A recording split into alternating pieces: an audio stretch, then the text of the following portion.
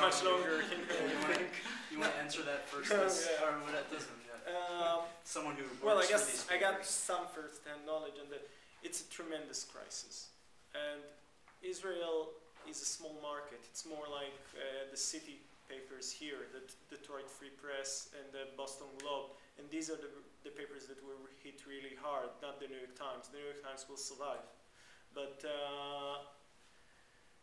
Israeli press is dying, and, and, uh, and it's and it's only you know natural uh, giving the technological opportunities and, and what's going on right now. And, and um, it's a major crisis in, in both papers I've worked to in, in, in, I worked in Maariv, my previous paper, I worked there for six years, nearly collapsed. And um Haaretz, my current paper, is uh, for years on the verge of bankruptcy and uh, both are living off loans from the banks. So, so yes, it is a major problem everywhere. David, what do you think? No, no, I, I, I, I totally agree.